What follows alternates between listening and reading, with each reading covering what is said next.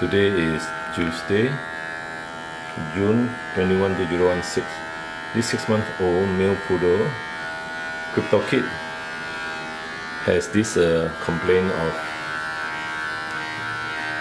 licking his front paws until they are all wet and uh, licking the floor obsessively.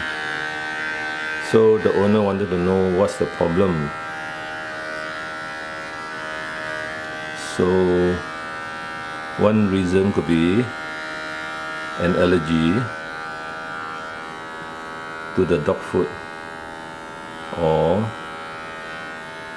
teething, teething because he had this canine teeth obstructing the puppy canine teeth obstructing the permanent teeth. Permanent upper teeth they have been extracted now. The left upper and and uh, right upper. So this could be causing pain to his mouth. So he's trying to lick the front paws and the floor to relieve his uh, pain in the gums. So that's one reason. Otherwise we have a clipboard in the front paws to check for any wounds or inflammation. There seems to be no wounds. Any wounds? I don't think.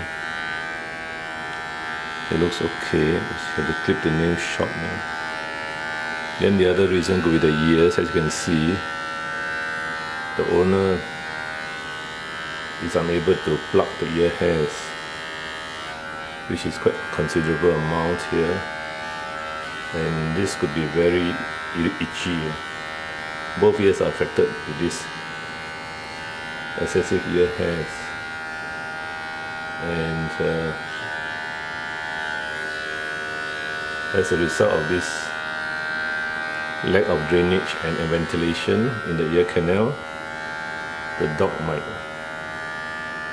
might feel very uncomfortable and lick the front paws. The back paws are okay, he didn't lick the back paws. There's no complaint about back paws being licked. So now we just put the dog under slight sedation because it's very excitable and uh, extracted the front teeth so we turn the other side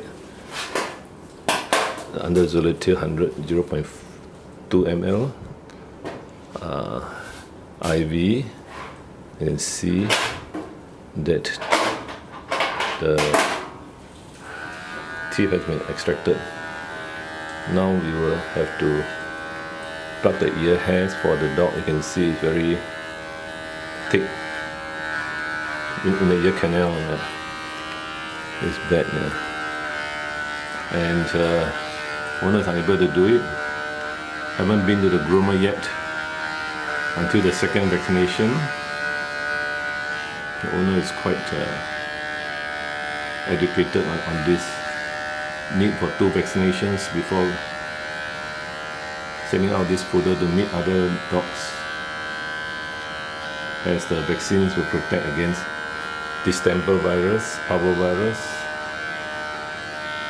and these are the two important viral diseases which can kill the dog or the puppy. So after that we will plug the ear hairs under Zoletil anesthesia, irrigate the ears, clean up the dirt. Now the dog weighs about how many kg? 3.4. 3.4 so we give Zoletil 100 at uh, 0.2 which is about 50%.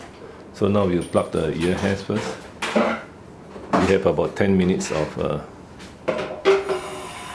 anesthetic time.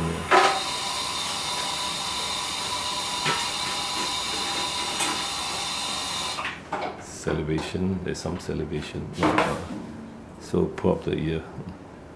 Now normally of course the groomer will do it directly without sedation and uh, you can see it's very thick. Where, is it? There. It's very thick. Thick and No, I'll give this. Six months already of hair growth. Without ear hair plucking. Of course, you can use the fingers, but it's better to use the forceps. Clamp and twist, clamp and twist actually. Clamp and then twist 360 degrees and pull out at one shot. Yeah, that would be the ideal. Yeah. Because there are different ways of doing it. yeah. Each groomer does his own way. Now there's no pain because the dog is under sedation. If not, it's very painful, and the dog will be running away. Uh, further in as well. Further in the vertical canal. Yeah. Use forceps to do it.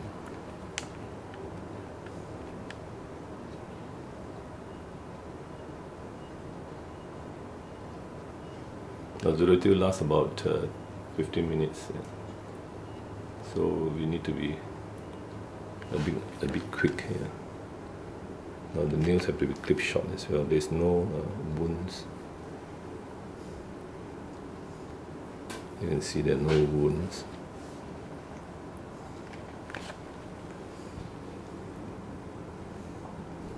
Look okay.